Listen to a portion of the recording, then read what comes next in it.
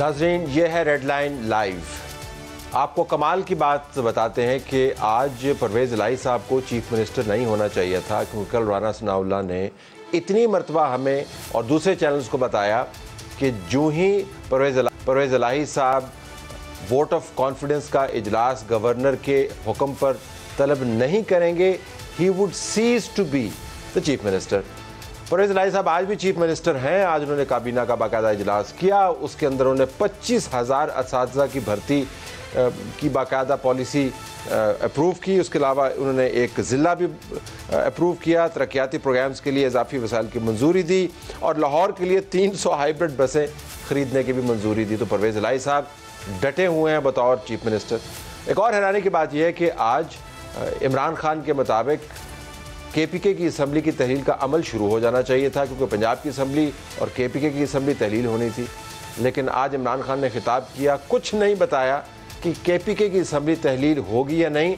के पी के के चीफ मिनिस्टर कहते हैं कि हमने ये फैसला मौखर कर दिया। बहरहाल, जब इमरान खान साहब कहेंगे, तब हम के पी के की असम्बली को तहलील कर देंगे। के पी के की असम्बली को लुड्डो की गोटियों की तरह, ये मैं लफ्ज़ जानबूझ के इस्तेमाल कर रहा हूँ, इस्तेमाल किया जा रहा है एक ऐसे खेल के अंदर जिसका सर पैर किसी को पता नहीं है।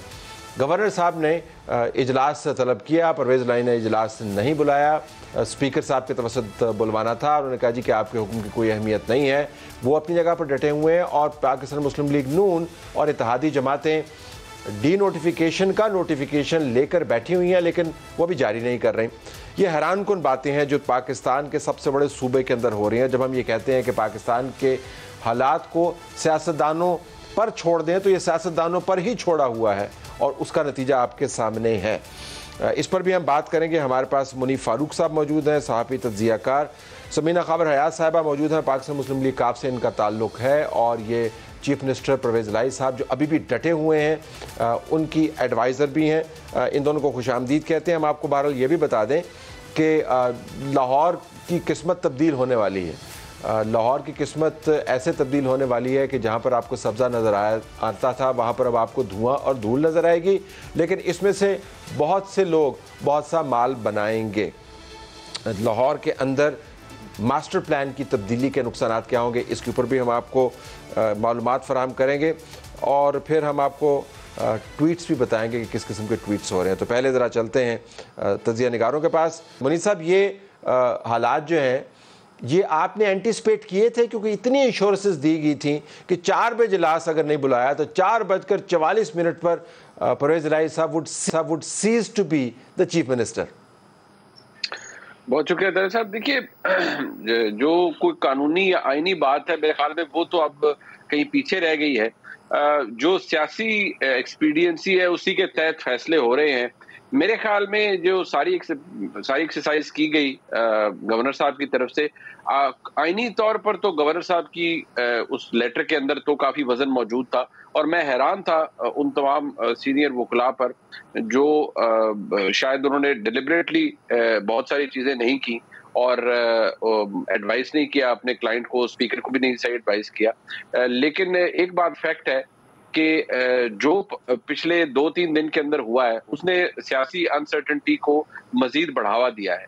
मैं बिल्कुल ये एक्सपेक्ट ज़रूर कर रहा था कि ये जिस तरह कहा जा रहा था कि ये डी नोटिफाई हो जाएँगे नोटिफिकेशन आ जाएगा मुझे लग रहा था कि ये इतना आसान शायद नहीं होगा। बिकॉज़ कुछ चीज़ें ऐसी होती हैं जो कि आपको नज़र आ रही होती हैं, कुछ चीज़ें ऐसी होती हैं जिनको आप शायद वो नज़र नहीं आती but you can still feel लेकिन मुनीम मैं कथा कलामी में अगर अगर इसी इसी नुक्ते को इसी नुक्ते को अगर हम उठा लें तो ये जो एक्सरसाइज है ये पीडीएम की जमातें बहुत देर से कर रही थी। गवर्नर साहब का जो हाउस है वो आम जगह बना हुआ था। आमदोरफ्त वहाँ पे हो रही थी। बड़े बड़े कानून दान वहाँ पर जा रहे थे। मरकज़ की तमाम जमातें जिन्होंने तमाम तगैर तबदल सियासत का देखा है। जरदारी साहब ने कितनी मरतबा नवाज़ शरीफ के साथ बात की। जनाब प्राइम मिनिस्टर ने कितनी मरतबा अपनी पार्टी के मेम्बरान से बात की। और न जाने क्या क्या हुआ। इसके बाद कोई ना कोई रोड मैप तो इनके पास होना चाहिए था। अब खुद ही कहते हैं कि चीफ मिनिस्टर है नहीं। लेकिन खुद ही चीफ मिनिस्टर को इतने बड़े बड़े मंसूबों की मंजूरी का मौका भी फ्राहम कर रहे हैं। तो बुनियादी तौर पर तो गवर्नर साहब का अगर ये स्टैंड है कि अब चीफ मिनिस्टर चीफ मिनिस्टर नहीं रहे तो डी करने में चौबीस घंटे तो नहीं लगाने चाहिए थे। बिल्कुल नहीं लगाने चाहिए थे तरत साहब। और मैं आपको ये बात पूरी ज़िम्मेदारी और इन्फॉर्मेशन के बेसिस पे कह रहा हूँ कि पंजाब की जो ब्यूरोक्रेसी है वो बाकायदा तौर पर कल गुजशत रोज भी इंतज़ार कर रही थी कि अभी गवर्नर साहब की जानब से एक डी नोटिफिकेशन की कोई समरी आ जाएगी या खत आ जाएगा तो उसका जवाब हमने किस तरह से देना है? और उसके लिए एडवोकेट जनरल का लीगल ओपिनियन क्या होगा? लॉ डिवीज़न का लीगल ओपिनियन क्या होगा? वो साथ लगा के वापस भेजने की तैयारी मुकम्मल थी इसके ऊपर बड़ी बात हो रही थी। लेकिन one fine at at some point in time शायद वज़ीर आज़म साहब ने मना कर दिया कि ये नोटिफिकेशन हुआ। तो उसकी वजह क्या है? उसकी वजह यह ये है कि जी चौधरी शुजात साहब से चौधरी आसिफ जरदारी साहब की मुलाकातें हो रही हैं और वो कोशिश कर रहे हैं। देखिए परवेज लाई साहब का तो मैं अभी भी कहूँगा कि शायद पाँच परसेंट चांस हो कि वो शायद आ, उनका कोई आ, सियासी अलायंस बन सकता हो। लेकिन जो उनके साहबजादे हैं मोहन सलाई साहब वो तो अपना सियासी मुस्तकबिल देखते ही जनाब इमरान खान के साथ हैं। लिहाजा यहाँ पर ना सिर्फ़ सियासी एक्सपीडियंसी इमरान खान की है, बल्कि पीडीएम की, हुकूमत की भी है। और जिस तरह से तलत साहब, ये बात किसी को अच्छी लगे, बुरी लगे, लेकिन पीडीएम को इस बात का एहसास होना चाहिए कि जितनी मामला ये क्रिएट कर रहे हैं, ये उस तासर को जायल करने के बजाय उसको मजीद तकवीत बख्श रहे हैं, जिसपे इमरान खान साहब रोज एक ढंडोरा पीटते हैं कि ये इलेक्शन से भाग रहे हैं। अब बावजूद इस बात के कि इमरान खान साहब की माली बेजाबतगियों के, उनके अहल खाना की माली बेजाबतगियों के पोल खुल रहे हैं और वो बड़ी डिठाई से उनके ऊपर कोई बात नहीं करते, प्रेस कॉन्फ्रेंस करते हैं तो बात ही नहीं करते उन हवाले से। लेकिन बजाय इसके कि आप सियासी तौर पर उन चीज़ों को टैप करें, यहाँ पर जो पूरी पीडीएम है, वो अपना सियासी कैपिटल तो पहले ही गवा चुकी है अब वो ये कह रहे हैं कि हम इस म्यूजिकल चेयर के अंदर एक स्टेक होल्डर बनेंगे और पंजाब के अंदर अपनी हुकूमत लेकर आएँगे। लेकिन पंजाब के अंदर अपनी हुकूमत अच्छा, लाने में मुनीब गिव मी मिनट मुझे मुझे एक ए, एक एक मिनट दीजिएगा। मैं जरा समीना खावर हया साहब से बात करता हूँ। समीना साहब अस्सलाम वालेकुम।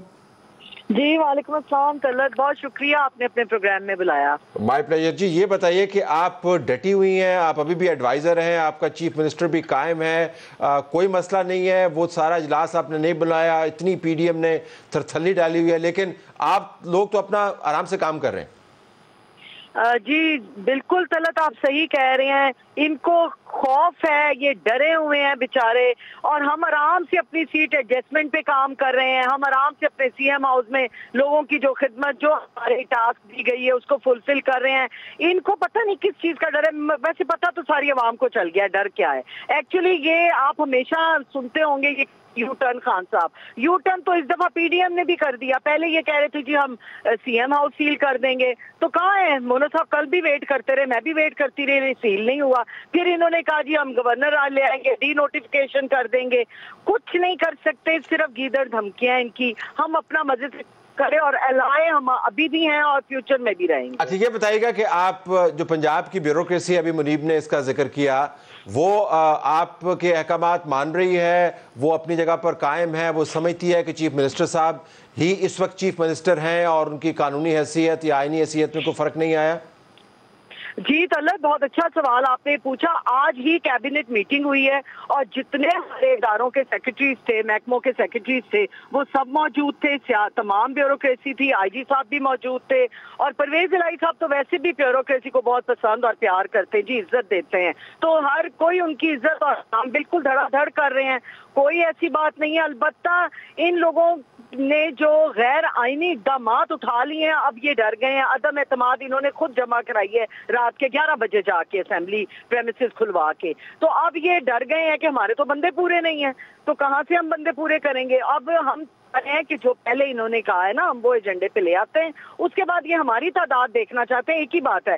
पता चल जाएगी ये घोड़ा ये मैदान।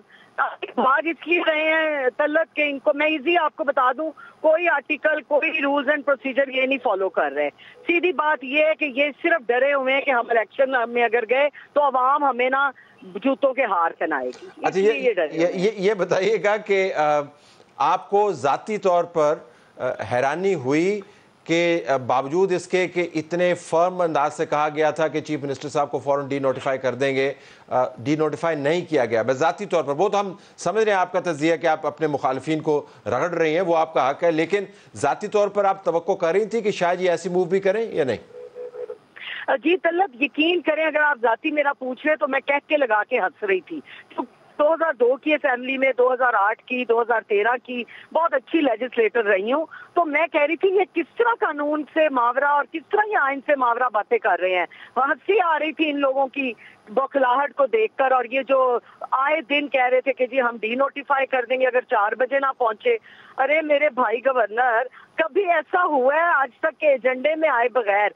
स्पीकर साहब इजलास नहीं बुला रहे और आप सीएम को डी नोटिफाई कर देंगे। ये कैसे मुमकिन है? इस पर हँसी आती है तल्लत मुझे। Hold the line please Muneeb, आपने देख लिया कि कितनी खुश खुर्रम है क्यू लीग की नुमाइंदा और वो हंस रहे हैं पीडीएम के ऊपर। हालाँकि ख्याल ये किया जा रहा था कि गवर्नर साहब की मूव इतनी संजीदा है कि इसके बाद इनके यहाँ पर थरथली पड़ जाएगी और ये थर थर कांपेंगे ज़ाहिर है, तनकीद तो करेंगे, लेकिन पीडीएम जो है उसका पल्लड़ बाली होगा, लेकिन यहाँ पर तो उल्टी गंगा बह रही है। जी अल्लाह ताला उनको, उनकी खुशी मुबारक करे और अच्छी बात है, जब हुकूमत में हो और हुकूमत चल रही हो तो इंसान खुशी का इजहार करता है और कर्टसी पीडीएम की इस सियासी नाहली के वो उन्होंने नहीं किया डी नोटिफाई या वो नहीं कर सके या किस वजह से अब तक नहीं कर पाए, वो एक अलहदा बात है। लेकिन हाँ मैं इतना ज़रूर कहूँगा कि जैसे मैंने पहले अर्ज़ किया कि जो गवर्नर की तरफ़ से लेटर था या जो आर्टिकल 130 क्लॉज सेवन के तहत जो उन्होंने कहा वोट ऑफ़ कॉन्फिडेंस लेने के लिए उस पर मुझे हैरानी ये है कि हमारे जो बहुत सीनियर बुकला हैं बसद एहतराम मेरे ख्याल में जब वो मुख्तलिफ़ जमातों के ब्रीफ पकड़ लेते हैं एज क्लाइंट्स और उनके पास उनका मुकदमात होते हैं, मुकदमे होते हैं तो फिर वो शायद दुरुस्त बात करते हुए या पूरी बात करते हुए कतराते हैं। अब बात यह है कि मैं इसको बड़ा कैटेगोरिकली बताना चाहता हूँ कि ये जहन में रखिए कि गवर्नर का जो ये इख्तियार है आर्टिकल 130 सात के तहत इसके बारे में बाकायदा तौर पर सुप्रीम कोर्ट की जजमेंट मौजूद है और वो बड़ी कैटेगोरिकल है। ठीक। और वो ये कहती है कि गवर्नर का ये इख्तियार उसके बाकी इख्तियार से मुख्तलिफ़ है। ये डिस्क्रेशनरी इन नेचर है। ये अनक्वालिफाइड पावर है। गवर्नर का ये इख्तियार है कि वो किसी भी वक्त अगर उसको सेटिस्फेक्शन हो तो वो वज़ीर से इतमाद के वोट का कह सकता है। और कॉन्स्टिट्यूशन का ठीक। हमेशा ओवर राइडिंग इफ़ेक्ट होता है किसी भी सबॉर्डिनेट लेजिस्लेशन के ऊपर। जिस तरह आपने खुद ही कहा कि ये अब अब अब ये ये लीगल डिबेट नहीं है। फ़िलहाल तो इंतज़ार उस सियासी मूव का है जिसके ज़रिए इस लीगल प्रोसेस को किसी मंतकी नतीजे पर पहुंचाना है डी नोटिफिकेशन मैं आप दोनों का शुक्रिया अदा करता हूँ कि आपने प्रोग्राम में शिरकत की। राना सनावला साहब इन पर हैं। राना साहब ने आ, बहुत कल तजिए भी किए इंटरव्यू भी दिए और हमें बताया कि कैसे the chief minister will cease to be the chief minister Rana साहब सलामकुम जी वालेकुम सलाम। राना साहब the chief minister does not cease to be the chief minister he is still the chief minister जी, बिल्कुल दुरुस्त है। जब तक गवर्नर जो है, वो अपना ऑर्डर जो है, वो जारी नहीं करते, जिसमें वो ये कहें कि उन, वो सेटिस्फाइड हैं और उनका जो कॉन्फिडेंस है, उनका जो प्लेयर है, जैसा कि आइन में दर्ज है, वो होल्ड नहीं करते चीफ मिनिस्टर, क्योंकि वो असम्बली से वोट कॉन्फिडेंस का नहीं ले सके। ये लेटर जो है, ये अभी येट टू बी इशूड है और जैसे ही ये इशू होगा तो उसके बाद he will cease to be the position of chief minister Adnan साहब किस चीज़ का इंतज़ार कर रहे हैं? इसके अंदर कोई ख़ास कोई लिफाफा इस्तेमाल करना है? कोई ख़ास कागज़ है? कोई ख़ास स्याही है? मतलब क्या चीज़ है जो एक सीधे साधे कानूनी प्रोसीजर के रस्ते में रुकावट है? इसमें एक तो गवर्नर साहब की ये शायद उनकी एक अपनी राय डिस्क्रिशन थी। कि वो 24 फोर आवर्स जो है वो फर्दर देना चाहते थे। उन्होंने स्पीकर ने जो एतराज़ उठाया था उनके ऑर्डर से मुतलक उसका उन्होंने कल 10 बजे जो है वो जवाब जो है वो दे दिया था और उन्हें स्पीकर को लिखा था कि आपका ये एतराज़ जो है ये गलत है और आपको अपना आईनी फ़र्ज़ जो है वो अदा करना चाहिए। तो उसके लिए उनका ये ख्याल था कि उन्हें एक जो है वो रीजनेबल टाइम दिया जाए कि स्पीकर जो है वो अपनी इस गलती की जो है वो इसलाह करे और इजलास जो है वो बुला के जो है वो चीफ मिनिस्टर को कहे कि वो इतमाद का वोट ले। तो वो टाइम भी अब जो है वो गुजर गया है। तो उसके बाद मैं समझता हूँ कि गवर्नर की तरफ़ से ये लेटर जो है वो किसी वक्त भी जारी हो सकता है। लेकिन वो किसी वक्त जो है वो कौन सा वक्त होगा? अभी मैं एक चैनल के सोर्सेज से के ज़रिए चलने वाली खबर आपके सामने रख, रख देता हूँ कि जो वफाकी लॉ मिनिस्ट्री है उसने ये एडवाइस किया है कि सीएम को डी नोटिफाई आप ना करें रिमूव ना करें थ्रू डी नोटिफिकेशन ये ऐसी खबर कोई आपके सामने है? ये लॉ मिनिस्ट्री के हवाले से खबर चल रही है? जी नहीं बिल्कुल ये बात गलत है। वफाकी वजारत कानून ने कोई ऐसी एडवाइस नहीं भेजी। और गवर्नर साहब जो है वो इसके ऊपर बड़े क्लियर है कि जब चीफ मिनिस्टर ने बात का वोट नहीं लिया he reference to take the vote of confidence तो लिहाजा वो अपना अहदे पर बरकरार नहीं रह नहीं रह सकते। हाँ अलबत् एक बात ये बीच में जो है वो आज चली है थोड़ी देर के लिए कि शायद chief minister is going to resign. Chief minister resign कर सकते हैं इस्तीफा दे सकते हैं? हम्म, जी। नहीं ये मतलब ये ये ख्वाहिश है पीडीएम की या ये खबर है ये? नहीं ये ये एक खबर या इंफॉर्मेशन थी जो कि मैं समझता हूँ कि ये पूरी नहीं हो सकी। पूरी नहीं हो सकी। और नो और no governor have to act constitutionally बिल्कुल ठीक है जी तो अब उसके लिए कोई टाइम फ्रेम तो होगा ना? क्योंकि मैं इस वजह से राना साहब आपसे बार बार पूछ रहा हूँ कि ये आइनी मामला है और अमूमन हमारा ख्याल ये होता है कि आइनी मामला के लिए रस्ते बड़े वाजे हैं। आपको पता है कि A B C D E क्या करना है? बाद में उसकी तशरी कोर्ट में क्या होती है वो कहलाता मामला है। लेकिन जो देखिए इस, इसमें इसमें साहब ये हमें भी इस बात का इदराक एहसास है, आपको भी होगा, बाकियों को भी होगा कि ईच एंड एवरी थिंग जो है ना, ये बाद में जाके आर्गू होनी है। इसके ऊपर बड़ी लंबी लंबी बहसें होनी है। इसके ऊपर बड़ी नुकताफीनी होनी है। वो जो है, वो अपना अपना जो है, वो इसके ऊपर जो है, वो तजिया करना है। तो इसलिए कोई भी चीज़ जो है, वो दूसरी तरफ़ भी ऐसे ही होगा शायद, लेकिन हमारी तरफ़ हम कोई भी चीज़ ऐसी नहीं करना चाहते। कि कल को हम क्लूलेस हों। और ये है कि जी आपने करना तो ये था, लेकिन आपने ऐसे किया है। तो इसलिए ये जो है, ये ये सारी फॉर्मेलिटीज जो है ये जो फर्दर 24 फोर आवर्स का टाइम है, ये सारी चीज़ें जो है, इन्हीं चीज़ों को और इन्हीं तजियों को जो है, वो पेश नज़र रख के ऑप्ट की गई हैं। और मेरा मेरा ये इंफॉर्मेशन कह लें या मेरी ये राय कह लें कि विद इन ट्वेंटी सेकेंड दिसंबर जो है गवर्नर अपनी राय जो है वो या अपना जो ऑर्डर है वो इशू करेगा। उसके बाद फिर एक नोटिफिकेशन तो एक रस्मी जो है वो कार्रवाई होगी वो बाद में होती रहेगी। ट्वेंटी सेकेंड दिसंबर मतलब आज के रात होगी नहीं बारह बजे तक? जी जी। तो आज गवर्नर साहब अपनी राय का इजहार कर देंगे और उसके बाद जो रस्म है जो बड़ी ज़रूरी है कि वो बकायदा वो बकायदा डिक्लेरेशन जो उनका ऑर्डर होगा, वो एक डिक्लेरेशन की सूरत में वो जारी करेंगे। और फिर ये भी है कि उस यानी ये जो ऑर्डर है गवर्नर का, ये तलब साहब को इतना सिंपल नहीं होगा या नहीं होना चाहिए जिस तरह से कि इस ऐसे मौके पे ऑर्डर्स होते हैं।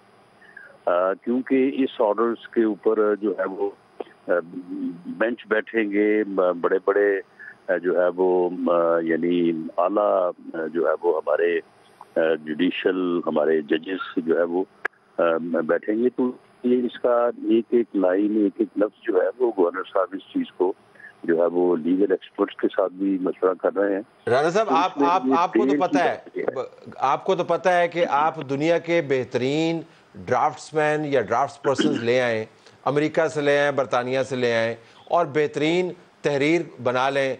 अगर बेंच ने पलटानी है तो उन्होंने पलटा देनी। तो आपको ये खतरा है कि ये कि बेंच के अंदर जाके पलट सकता है? नहीं देखें इसमें जो है वो आपकी बात दुरुस्त है कि जो जजेस हैं वो फैसला जो है लेकिन उन्होंने अगर किसी नुक्ते किसी कानून किसी जबते और किसी मंतक भी फैसला करना है ना ऐसी तो नहीं बैठ के पलटा देना किसी चीज़ को। तो इन सारी चीज़ों को जो है वो एक लीगल माइंड से जो है वो देखा जाना जो है वो बड़ा ज़रूरी है।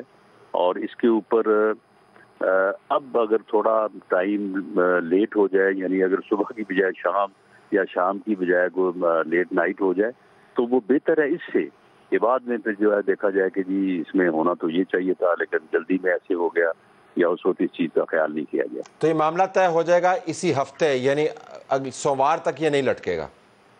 नहीं कतन नहीं।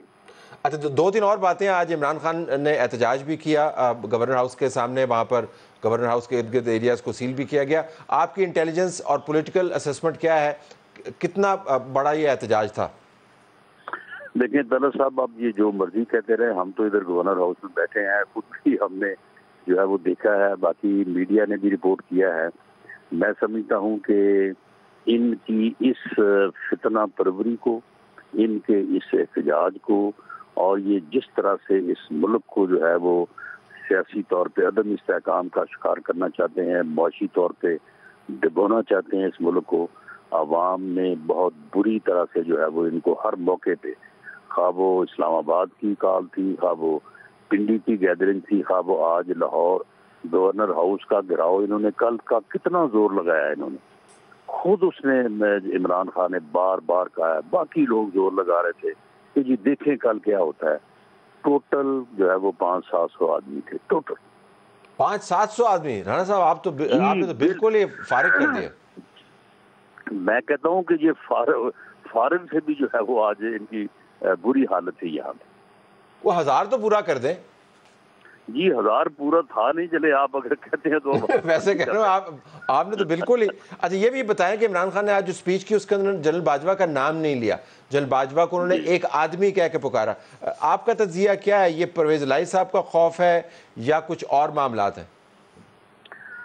देखें परवेज लाई साहब भी जो है ना वो इसमें जो है वो दिन में जो है ना तीन तीन जो है ना वो पहलू बदलते हैं। और ये सारा जो मामला जिसका आपको भी बाकियों को भी इंतज़ार करना पड़ा है या पड़ रहा है तो इसमें उनके भी इस उनका बेटा कुछ और कर रहा है वो खुद कुछ और कर रहे हैं। वो उनकी बात किसी से होती है तो वो बिल्कुल ऑल टुगेदर डिफरेंट जो है वो आ, उनका जो है वो अंदाज है। मोन सलाई साहब कुछ और कह रहे हैं। तो ये भी जो है ना वो सुबह दोपहर शाम उनकी पोजीशन जो है वो मुख्तलिफ़ होती रही है पिछले तीन दिन से और आज का दिन भी उसमें शामिल है। तो ये चीज़ें भी जो हैं, वो भी, ये चीज़ें भी जो है वो इन मामला को किसी तरफ़ फोकस होने में जो है वो हायर रही हैं।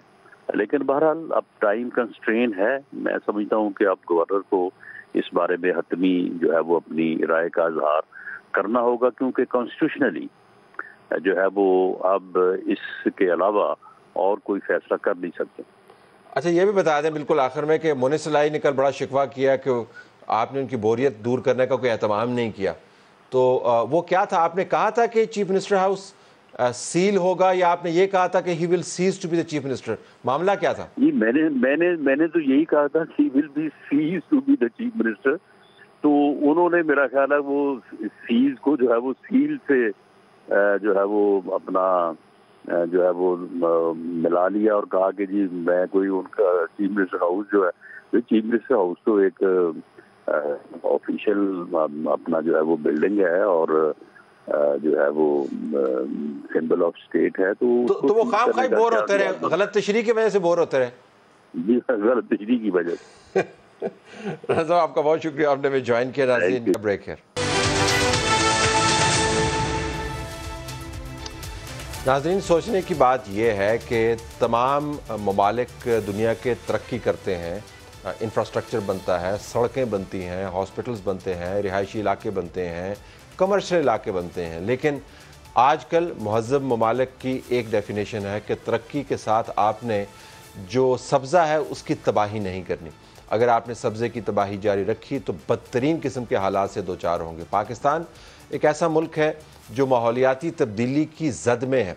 अब ये आपको असलाह बड़ी भारी भरकम लगती है माहौलियाती तब्दीली, लेकिन अगर आप इसको आम हालात में तब्दील करें तो इससे मुराद ये है कि जिस किस्म के सैलाब पाकिस्तान के अंदर आते हैं, वो माहौलियाती तब्दीली का एक अक्स है। हमें अपने शहरों को तब्दील करना है बेहतर अंदाज से, हमने तरक्की करनी है बेहतर अंदाज से, लेकिन लाहौर, जो पाकिस्तान की जान समझा जाता है और कराची के बाद सबसे बड़ा ट्रेडिंग सेंटर बन चुका है वहाँ पर आबादी की बढ़ोतरी एक बड़ा चैलेंज है। माहौलियाती जाविये से देखें तो यहाँ की आलूदा हवा जो है हमारे लिए बायस शर्मिंदगी भी है और शहरीों के लिए वबाल जान भी। ये वबाल जान कम होना चाहिए, लेकिन नहीं। परवेज़ लाई साहब की जो चीफ मिनिस्ट्री है, उसमें लाहौर का नया मास्टर प्लान तैयार किया गया। लाहौर के मास्टर प्लान की मंजूरी के बाद जो ब्राउन एरिया है या, यानी जहाँ पर तामीर होगी, जहाँ पर सड़कें बनेंगी, जहाँ से धूल उड़ेगी, वो जो मुरबा किलोमीटर के हवाले से देखें तो सात सौ उनासी मुरबा किलोमीटर हो गया है। इससे पहले लाहौर का जो ब्राउन एरिया था, वो 333 मुरबा किलोमीटर है। सादा अल्फाज में, चवालीस फ़ीसद लाहौर मट्टी के अंदर अट जाएगा। और ये बहुत तेज़ी दिखाई इस मास्टर प्लान को मंजूर करने में और उसकी वजह आपको अता तारण साहब ने एक प्रेस कॉन्फ्रेंस में बताई। अगर वो साउंड हमारे पास रेडी है जी तो उसको आप प्ले करें और साथ ही हम वकार शेख साहब जो एडवोकेट सुप्रीम कोर्ट हैं और फारूक तारक साहब हैं, जो जनरल सेक्रेटरी हैं पाकिस्तान रबता कमेटी के, उनसे भी हम बात करेंगे। वो हमें बरह रास्त बताएँगे कि ये मनसूबा है क्या और इसके नुकसान क्या हैं और फ़वाद किन किन लोगों को हैं। इसमें अब बाज़ार इल्ज़ाम की बौछाड़ है, लेकिन ये जाविया बड़ा दिलचस्प है जिसका हमें कुछ सिरा नहीं मिल रहा था कि इमरान खान साहब ने असम्बलियाँ डिज़ोल्व करनी थी तो इतनी जल्दी क्यों नहीं की? सात दिन क्यों दिए? वकार शेख साहब फ़ारूक तारक साहब दोनों का शुक्रिया। वकार शेख साहब, अगर मैं आप, अगर मैं आपसे मुख्तसरा पूछ पाऊँ कि इस वक्त लाहौर का जो मास्टर प्लान है और उसके साथ जो रावी डेवलपमेंट अथॉरिटी बनी हुई है, इसमें क्या मसला क्या है? इल्ज़ाम के अलावा आप क्या समझते हैं कि कहाँ पर बहुत से रूल्स वायलेट हुए हैं? ठीक है। बहुत शुक्रिया। देखिए, पहले तो बुनियादी तौर पे ये समझें कि रावी अर्बन डेवलपमेंट अथॉरिटी बनाई क्यों गई? इससे पहले ये, सबसे पहले इस आइडिया को कंसीव किया गया इन द ईयर 2013 और 2013 में इसको एलडी को कहा गया कि वो इसको एग्जीक्यूट करें।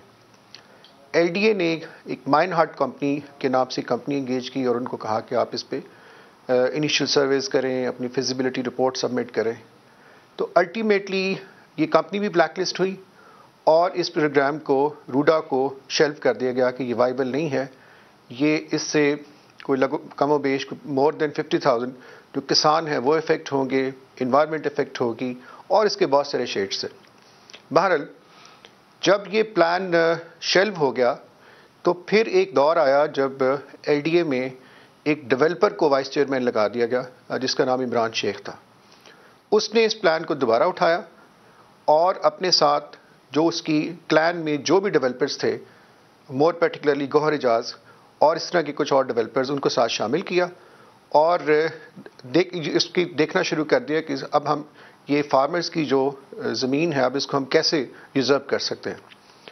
तो इन्होंने फिर रातों रात ये जो Ravi urban development authority act पहले ऑर्डिनेंस आया फिर एक्ट आया और एक्ट आने के बाद फिर इन्होंने एक, एक इस तरह से हमला किया इस ज़मीन पे। आप इमेजिन करें कि अनप्रेसिडेंटेड है एक लाख चार हज़ार एकड़ जगह का नोटिफिकेशन कर दिया गया कि ये रूडा की जो रिस्ट्रिक्शन में होगी और कलेक्टर जो डिप्टी कमिश्नर होता है लाहौर और शेखुपुरा, उनको कहा गया तो उन्होंने रातों रात बैठ के और लैंड एक्विजिशन एक्ट के सेक्शन फोर के तहत नोटिफिकेशन जारी कर दिए।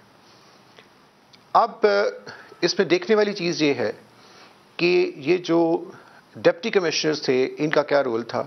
क्या इन्होंने इस पे देखना गवारा किया कि इतनी ज़्यादा लैंड एक लाख एकड़, एक लाख चार हज़ार एकड़ लैंड किस मकसद के लिए इस्तेमाल की जा रही है? क्या ये इस्तेमाल की जा सकती है नहीं की जा सकती?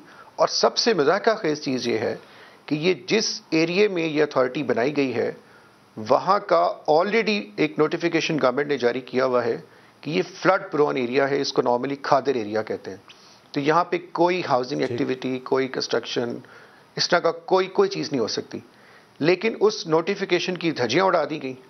और रूडा ने नोटिफिकेशन कर दिया सेक्शन फोर का और एक और नोटिफिकेशन कर दिया जिसमें कह दिया कि ये हमारा कंट्रोल्ड एरिया है और जब हम हम ही अब इसको चलाएँगे हम ही इसको देखेंगे।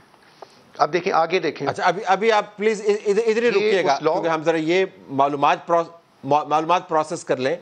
और साथ ही आपने लैंड ग्रैब का भी ज़िक्र किया किसानों की ज़मीनों का भी ज़िक्र किया एक लाख चार हज़ार के करीब एकड़ का ज़िक्र किया।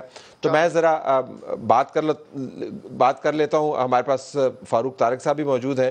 फारूक साहब जब तरक्की होती है तो हमने देखा है कि जहाँ पर सब्ज़ा उगता है जहाँ पर फ़सलें उगती हैं जहाँ पर मुकामी लोग रहते हैं जहाँ पर आ, उनके कब्र हैं जहाँ पर उनकी सकाफ़त है वो सब तितर बितर हो जाती है। तो मेरा आपसे जानना चाहूँगा कि ये जो मंसूबा है इसने आ, कितनी सकाफत को तबाह किया, कितने किसानों को डिस्प्लेस किया, और ये ज़मीनें एक्वायर किस तरह हो गई इतने लोगों की मौजूदगी में? देखें कलोनियल एक्ट है, ये जो ज़मीन को एक्विजिशन करने का जो एक्ट है, ये नौबादी दौर की निशानी है जिसे इन्होंने इस्तेमाल किया है। और ये कोई पब्लिक मफाद में नहीं था कि इस ज़मीन को हासिल किया जाता। लाहौर की ज़्यादातर सब्ज़ियाँ इस इलाके से आती थी। और इस इलाके को ये एक लाख चार हज़ार एकड़ पर लाहौर का एक एक नया लाहौर बसाना चाहते हैं। ये बिल्कुल एक ख्याली मंसूबा है, जिसका प्रैक्टिस से कभी तल्लक नहीं हो सकता। चूँकि इतने किसानों को किस तरह ये निकाल सकेंगे? काफ़ी बड़ी मजामत है और ये लैंड ग्रैब है बेसिकली। ज़मीनों पर कब्ज़े का एक प्लान है कि किसी तरीके से हुकूमत को इस्तेमाल करके किसानों को ज़मीन से बेदखल किया जाए। इससे एक तो लैंड ग्रैब हो रही है पोलूशन हो रही है, जो लाहौर पहले गंदा और गंदा हो जाएगा, जो क्लाइमेट का इशू है, वो ज़्यादा एग्रीवेट हो जाएगा ये मनसूबे पर अमल होने से। लेकिन फुर्तियाँ तो आप देखें कि जब high court, Lahore high court ने इस मंसूबे को नाकबले अमल करार दिया तो उसी दिन इमरान खान साहब जब वो वज़ी अजम थे, वो अपने ट्रैक्टर और मशीनरी लेकर इस जगह पे पहुँच गए। उसका क्या काम है? हाई कोर्ट के फैसले के ख़िलाफ़ ये एक बगावती टाइप इजहार करना कि मैं कोई परवाह नहीं करता हाई कोर्ट के फैसले की। ये बाद में सुप्रीम कोर्ट गए। सुप्रीम कोर्ट ने भी इतना ही कहा कि जो लैंड इस वक्त आपके कब्ज़े में है, उसको ज़रा आप डेवलप करें और को लैंड ना, को ना ना छेड़ें। लेकिन इस वक्त परवेज़ लाई साहब के दौर में पुलिस जा रही है, किसानों को ज़बरदस्ती निकाल रही है, खड़ी फ़सलों के ऊपर ये मशीनें चला रहे हैं। ये लाहौर की तबाही का एक मंसूबा है। लाहौर के किसानों की ज़मीनों पर कब्ज़ा करने का मंसूबा है। ये किसी तौर भी पाया तकमील तक नहीं पहुँच सकता। हम किसान जो हैं, वो इसके ख़िलाफ़ भरपूर मजामत कर रहे हैं और मजामत करते रहेंगे चूँकि इस मंसूबे से लाहौर की कोई खिदमत नहीं हो रही। ना कोई ये इकॉनमी की खिदमत हो रही है। ये जो कंस्ट्रक्शन कंपनियों को, ये जो लैंड माफिया को, ये जो बड़ी बड़ी हाउसिंग सोसाइटीज़ को प्रमोट करके उनको रियासती इमदाद देकर किसानों की ज़मीनों पर कब्ज़ा करने का मंसूबा है। इसके खिलाफ भरपूर मजामत होगी और किसान खड़े हैं इस वक्त। गिरफ्तारियाँ भी हो रही हैं, लेकिन हम पाकिस्तान किसान रबता कमेटी के तौर पर, जिसकी रोडा की एक्शन कमेटी मेंबर है, हम ये लोग किसानों से कह रहे हैं कि अपनी ज़मीनों पर कब्ज़ा मत होने दें। ये सरीहन किसान दुश्मन मंसूबा है। इसका अवाम की फलाह से कोई तल्लक नहीं है। अच्छा अब रुकिएगा वकार शेख वापस आ रहा हूँ। ज़रा ये फरमाइए ये फरमाइएगा कि ये कितने ताकतवर लोग होंगे जो लोगों की सकाफ़त को उनकी माशरत को उनकी मीशत को जड़ से उखाड़ कर फेंक दें दिन दिहाड़े और उसको कानूनी कवर देने की कोशिश भी करें। देखिए मैं तो समझता हूँ कि रियासत से ताकतवर कोई नहीं होता लेकिन जब रियासत खुद ही खुद ही रियासती दहशत गर्दी पर उतर आए तो फिर मेरा ख्याल है कि उसको कोई नहीं रोक सकता। आप देखें कि रियासत का काम था कि वो किसानों की ज़मीन को प्रोटेक्ट करती और इसके बिल्कुल बरक्स उन्होंने काम किया और वो ख़ुद ही जो लाहौर के जो चंद डेवलपर्स हैं जिनका कब्ज़ा था एल में और फिर जब रूडा की अथॉरिटी बनी तो अगेन वही लोग उस अथॉरिटी के मेंबर्स थे, वही बोर्ड ऑफ़ डायरेक्टर्स में थे, वही इसको रन कर रहे थे। उन्हीं लोगों ने इसकी टेंडर प्रोसेस किए आर बनाई और वो इस हिसाब से सेट की कि वही बिड कर सकें, वही उसको सक्सेसफुल बेटर हो सके। लेकिन लार्जर क्वेश्चन ये है कि रूल ऑफ़ लॉ की बात होती है तो फिर कहाँ है रूल ऑफ़ लॉ जब honourable supreme court of Pakistan ने ये कहा कि आपने जिस जगह का कब्जा नहीं लिया, आप उसका कब्जा नहीं लेंगे। लेकिन वहाँ पे इन्होंने झूठ बोला, गलत बयानी से काम लिया और वहाँ पे जाके तो ये कहा गया कि जी हमारे पास तो 90 परसेंट लैंड का कब्जा है। हालाँकि इनके पास उस वक्त शायद दो या तीन परसेंट लैंड का कब्जा था, इससे ज़्यादा कब्जा नहीं था।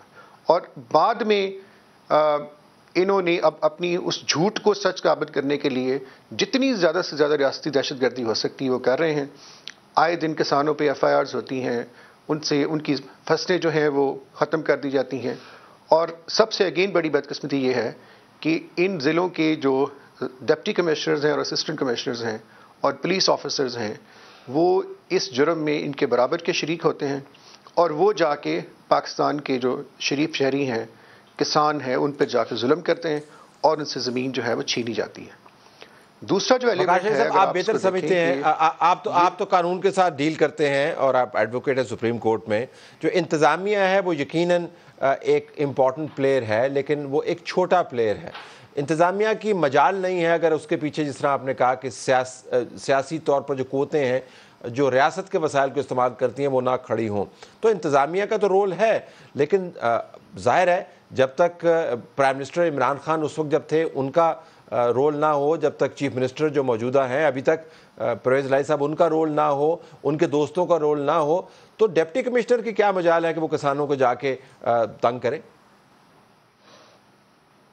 लेकिन मेरा ख्याल है कि ये अब एक वतीरा बन गया है कि डिस्ट्रिक्ट एडमिनिस्ट्रेशन का पुलिस का, कि वो किसी भी लीगल काम को रजिस्ट नहीं करते। ये बिल्कुल आप ठीक कह रहे हैं कि इस, इसके पीछे इमरान खान की इन्वॉलमेंट है। इमरान खान ने जब ये प्रोजेक्ट बन रहा था डिज़ाइन हो रहा था तो वो ऑनलाइन इसकी सारी जो वीडियो जो होती है, इनकी कॉन्फ्रेंसेस और उसमें बैठ के, और जब लाहौर आना, इसको देखना, इसको सारा कुछ करना तो इसके पीछे एक पूरा एक बड़ा, मैं जिसको कहूँ बड़ा मुनज़म एक ग्रोह है जो इसके पीछे पड़ा हुआ है ज़मीन के पीछे। और वो इससे पीछे हटने के लिए तैयार नहीं है।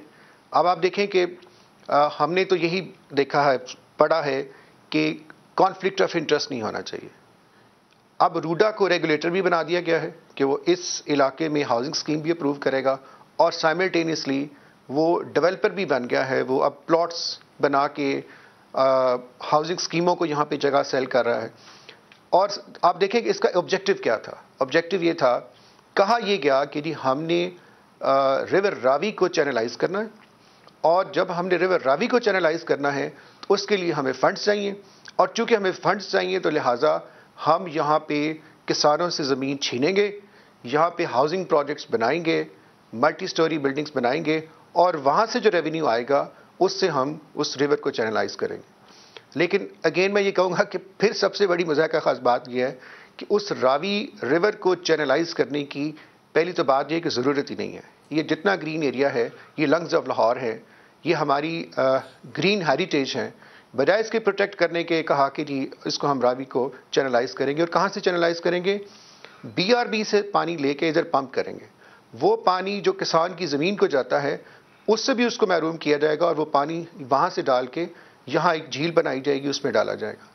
तो क्वेश्चन ये है कि वो रिवर रावी को चैनलाइज करने के लिए, यहाँ बंद बनाने के लिए, जो एस्टीमेट था, वो सात आठ बिलियन रुपए रिक्वायर्ड थे, जो कि आराम से दो तीन सालों में हो सकते थे। उन सात आठ बिलियन रुपयों की आड़ में पहले पाँच बिलियन रूडा को दिया गया कि आप ये लोन लें इंटरेस्ट फ्री लोन लें और आप अपनी अनड्यू इन्वेस्टमेंट करें।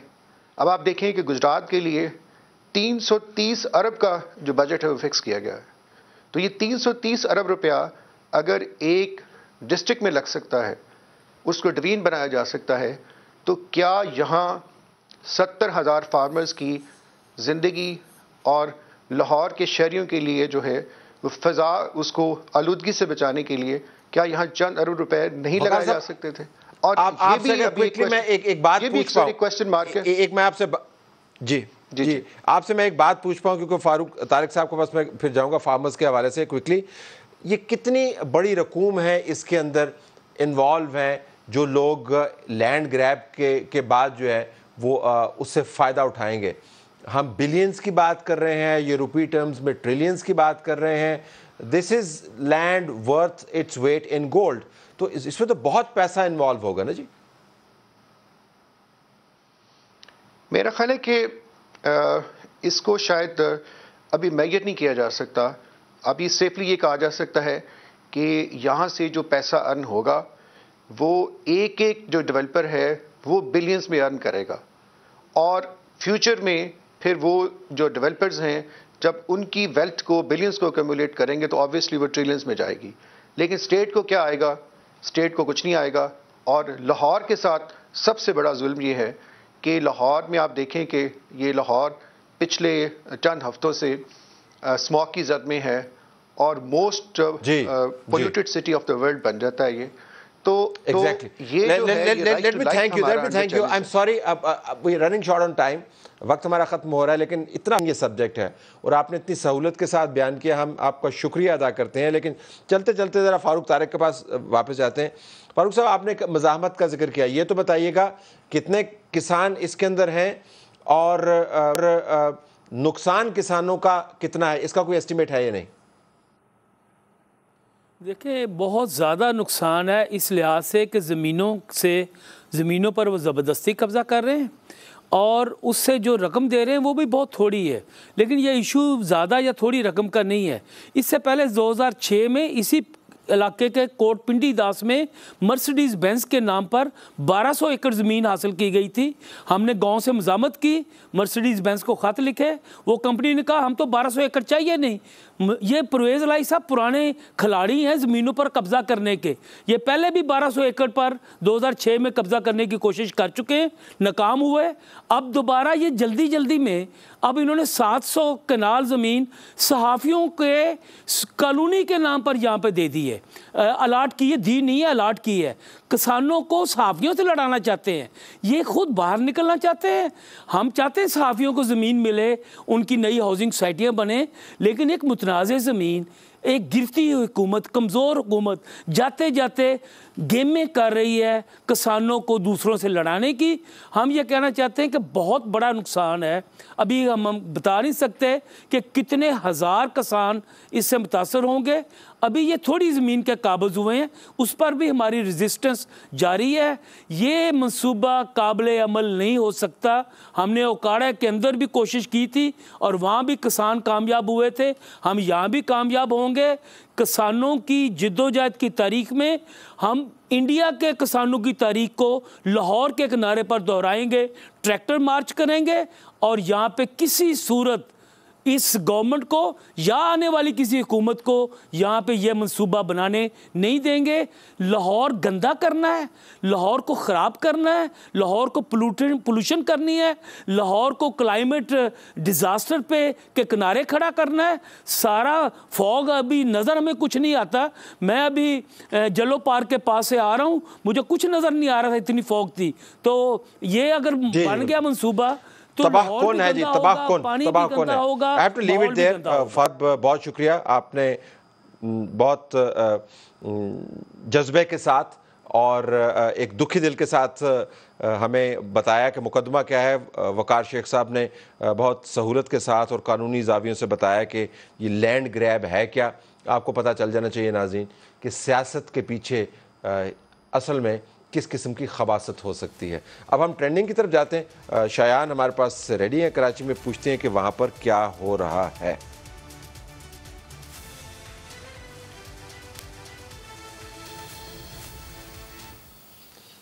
जी शायान अलैक्म क्या है जी ट्रेंड्स में?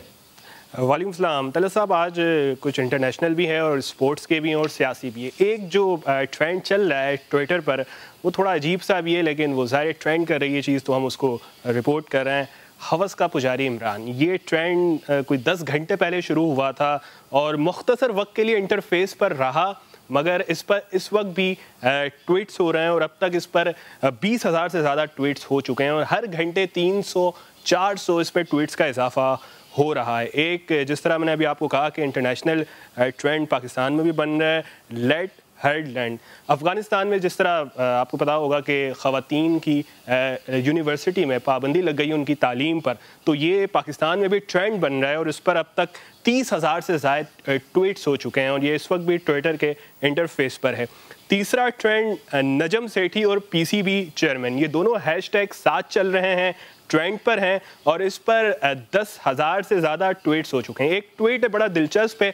मोहम्मद आमिर ने नजम सेठी की जिस तरह उनकी पीसीबी पीसीबी में एंट्री हुई है, उस पर उन्होंने कहा है right man for the right job congratulation तो इस तरह लगता है कि जिन क्रिकेटर्स पर क्रिकेट के दरवाजे बंद थे, वो शायद अब खुलने वाले अहमद शहजाद ने भी नजम सेठी की आमद को खुश आइन करार दिया है और इसी तरह उमर अकमल ने भी कहा है। और मोहम्मद आमिर का जिस तरह मैंने अभी आपको ट्वीट बताया एक और ट्रेंड है। आसिफ अली पाकिस्तान के जारहाना बल्लेबाज हैं। वो बिग बैश लीग खेल रहे हैं ऑस्ट्रेलिया में। तो उन्होंने आज बड़ी एग्रेसिव इनिंग खेली है। तेरह बॉल्स पर उन्होंने इकतालीस रन बनाए। तो ये भी ट्रेंड कर रहे हैं क्योंकि वो बड़ी तनकीद की जद में रहते हैं। ट्रोलिंग इन पर काफ़ी की जाती है। वो बड़े मैचेस में नाकाम भी हो जाते हैं। लेकिन आज वो एक अच्छी उन्होंने जो बल्लेबाजी की है इसकी वजह से वो ट्रेंड बने। और दस हज़ार बहुत शुक्रिया आपका। बहुत बहुत शुक्रिया आपका। नाजिन हमने एक ट्वीट चूज़ किया है। आज रियाजुल हक ने यह ट्वीट किया वज़ीर अजम शहबाज शरीफ के दामाद हारून यूसुफ अज़ीज़ आज चार साल के बाद मुल्क वापस आए और अदालत से हिफाजती ज़मानत मिल गई। वज़ी अजम ऑफ़िस के प्रोटोकॉल, स्टाफ के हमरा वापस रवाना हो गए। जब पूछा गया कि आप तो कोई हुकूमती अहदा भी नहीं रखते तो सरकारी प्रोटोकॉल कैसा? जवाब नदारद। जवाब तो वैसे इसका देना चाहिए।